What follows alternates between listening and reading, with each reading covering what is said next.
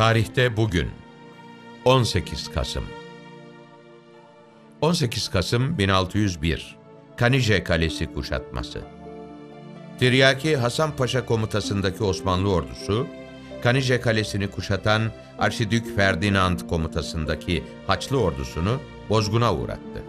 1600 yılında Avusturyalılardan alınan kale, konumu itibariyle Osmanlı Devleti açısından büyük önem arz ediyordu.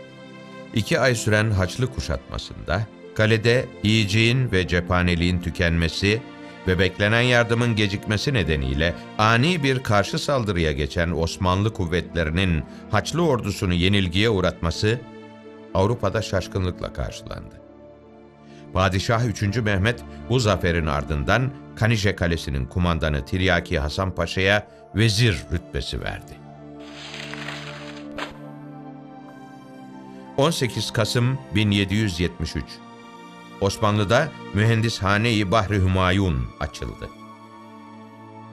Padişah 3. Mustafa döneminde Osmanlı'da denizcilik dalındaki ilk okul olan Mühendishane-i Bahri Hümayun, Kasımpaşa'da açıldı. Kaptanı Derya Gazi Hasan Paşa önderliğinde temelleri atılan Deniz Lisesi'nde, gerek Osmanlı döneminde gerekse Cumhuriyet döneminde birçok ünlü denizci yetiştirildi. 18. yüzyılın ikinci yarısına kadar Osmanlı'da babadan oğula geçen denizcilik mesleği bu dönemden sonra bilimsel bir nitelik kazandı.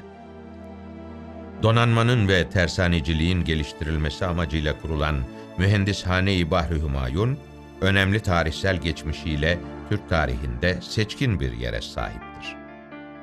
17 Ağustos 1999'daki deprem felaketinin ardından yeniden yapılanma sürecine giren lise, 2001 yılından itibaren eğitimine kesintisiz olarak devam etmektedir. 18 Kasım 1913 Tayyareye binen ilk kadın Belkıs Şevket Hanım Belkıs Şevket Hanım, tek motorlu üst açık tayyareye binen ilk kadın oldu.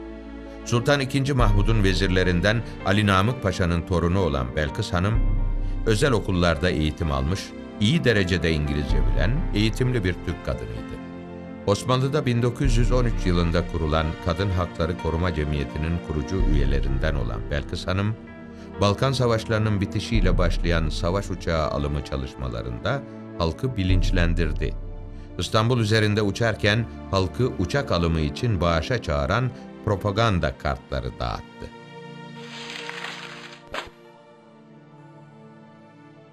...18 Kasım 1976... İspanya'da demokrasi.